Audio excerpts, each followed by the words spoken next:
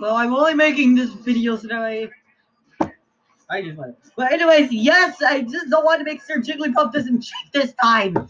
If, if there is gonna be a round on user challenge, it'll be like kill him as best you but No. Can you make Jigglypuff say something else? Can you make Jigglypuff say something else, please? That's why he's making these and Blaze makes her Jigglypuff doesn't cheat.